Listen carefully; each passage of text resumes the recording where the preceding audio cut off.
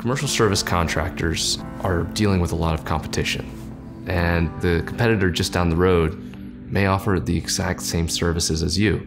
And it's impossible to convince a customer that you're better than them unless you can show the customer.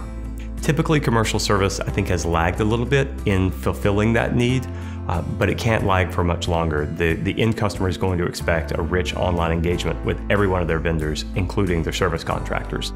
We came up with the term digital wrap to describe how you could take all that activity that you're doing already and put it into an application where it makes it easy for you to build impressions with the customer.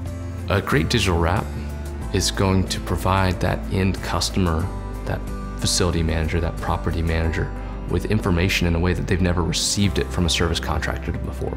We are trying to help customers realize that it's not just about successfully implementing ServiceTrade, but it's also about successfully implementing other pieces of software that can improve their business as a whole. We try to be their advisor, whether it's buying from us or whether it's buying other pieces of technology, we're happy to help them make good decisions that's going to help them build a better brand. So service contractors who can modernize and meet the customer's expectations around engaging online are going to have an incredible advantage over the competitors who don't.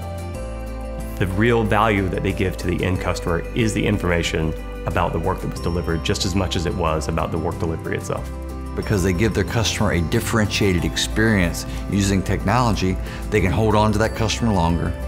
They can charge them a premium price that the customer is happy to pay.